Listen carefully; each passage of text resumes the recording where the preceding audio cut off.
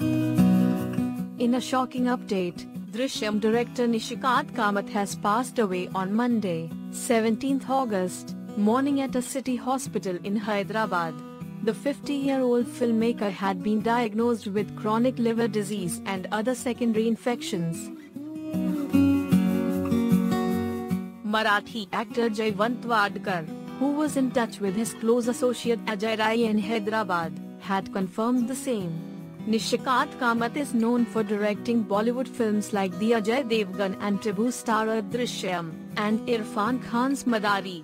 He has also worked with John Abraham in two films, Force and Rocky Handsome.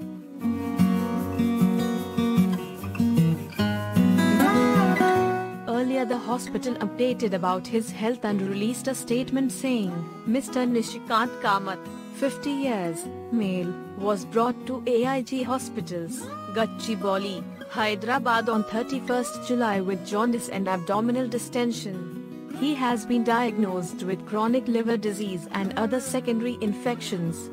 He is in the intensive care unit for continuous monitoring under supervision of a multidisciplinary team of senior consultants comprising of gastroenterologists, hepatologists, critical care and others.